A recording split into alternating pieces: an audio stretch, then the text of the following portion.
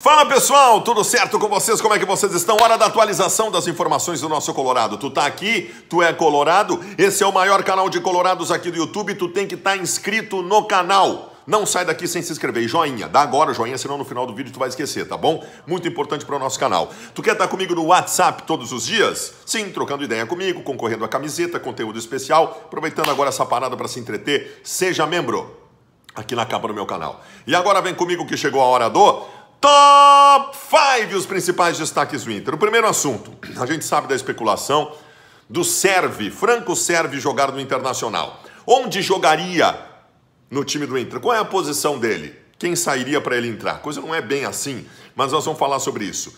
Porque para recuperar no começo do ano o Inter quase contratou esse jogador, chegou a acertar salário e tempo de contrato com ele. E o Benfica já tinha assinado que ia liberar. De repente, o Benfica resolveu utilizar o jogador. Só que agora, na virada da, do semestre, no caso deles não é semestre, é temporada, termina uma temporada e vai começar outra. Tem, tem essa parada, vamos ver o que, que vai acontecer. Mas uh, vai trocar treinador lá no Benfica. Então é possível que ele seja liberado. E aí ele viria para o Internacional. Vamos ver. Ele é um jogador de movimentação de meio campo pendendo para o lado esquerdo. O serve no internacional, eu consigo imaginar ele. Eu não estou dizendo aqui que alguém vai sair para ele entrar, eu estou dizendo que ele agregaria como possibilidades para determinado setor. Vocês sabem que o, o Cudê não tem muita frescura em relação. Este só pode jogar aqui. Tanto que é Marcos Guilherme, que é atacante, jogando no meio. É Edenilson, que começou pela direita e está no meio. É Bosquilha, que começou centralizado e veio para o lado. Não tem frescura. O Sérvio poderia se encaixar em qualquer lugar do meio. Mas eu o vi jogar até hoje, onde joga o Edenilson hoje e onde joga o Bosquilha hoje no time do Internacional. Mas eu repito, é um jogador que se adaptaria a outras funções de meio campo por sua intensa movimentação e qualidade técnica. E o Campas? O Campas, o jogador colombiano, o meia armador do Tolima. Onde jogaria no time do Inter? Que é um jogador que o Inter está tentando, vamos fazer essa recuperação também. Jogador que o Inter está tentando. Uh, qual, quais são os argumentos do Internacional para trazer esse jogador? O Tolima acha ele um cheque em branco para ganhar muito dinheiro. Só que ninguém vai oferecer um caminhão de dinheiro para o Tolima, porque o Tolima é um clube pequeno da Colômbia. Já ofereceram 5 milhões de dólares, que é troco, perto da qualidade técnica desse guri que é um craque. O que, que o Inter está oferecendo para o Tolima? Nos empresta ele, nos empresta ele que a gente põe ele para jogar as competições e ele vai se valorizar pra caramba e depois tu vende ele para uma banana de dinheiro. É assim que o Inter está tentando contratar. Pois bem, onde ele joga? Meu, esse, esse é um pouco mais específico. Esse jogador joga numa função que hoje não tem no time do Inter, que é meia armador. O Inter não tem um meia armador específico, alguém que passe o jogo por ele necessariamente. Quem é que arma no time do Internacional hoje? O Edenilson arma, o Busquini arma, o Guilherme arma, né? O Marcos Guilherme arma. Então não tem especificamente essa função. Poderia ter. Um jogador com esta qualidade técnica e ele tem muita movimentação também, ele é meio armador. Ele é distribuidor de jogo, é o cara do tapa na bola. E é craque, velho, é muito qualificado.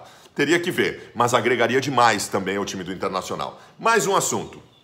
Qual é a possibilidade efetiva do D'Alessandro jogar do Internacional, continuar jogando no Inter no próximo ano? Tudo isso foi suscitado pela, pela live que ele fez com o Tyson, né? No Instagram do Internacional e o Tyson disse para ele que queria que ele que ele que, que, queria que ele esperasse o Tyson.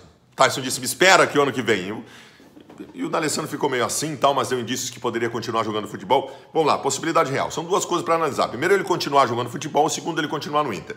Sim, tem possibilidade de ele continuar jogando futebol, ele está se sentindo bem e é possível que ele decida no final do ano que vai jogar mais um ano, vai virar os 40 anos jogando futebol. Tem condições físicas para isso, já mostrou nessa temporada.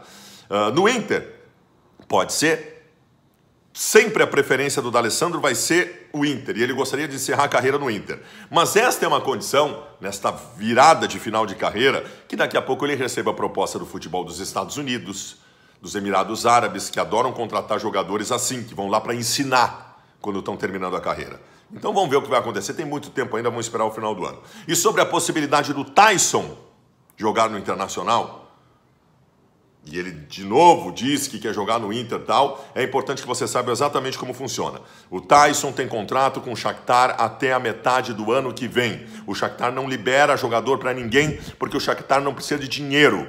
Não adianta oferecer dinheiro para os caras que eles não precisam.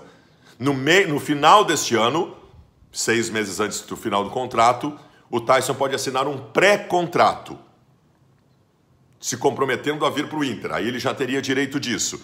Se poderia vir no começo do ano que vem, teria que ter uma negociação com o Shakhtar para a liberação antecipada. E eu acabei de dizer que eles não são de negociação. Então, o mais provável é imaginar a possibilidade do Tyson no meio de 2021 no Internacional. E para finalizar, eu repito e sublinho aquilo que eu disse ontem. Pode voltar ao futebol em maio? Talvez. Pode voltar em junho? Talvez. Mas os clubes estão preparados e moldam so toda a sua estratégia de ação financeira e logística até o final da temporada, projetando três meses de parada. Os clubes estão projetando que não vai ter futebol em abril, em maio e em junho, e vai voltar só em julho. Essa é a projeção dos clubes. Um beijo e eu volto de tarde.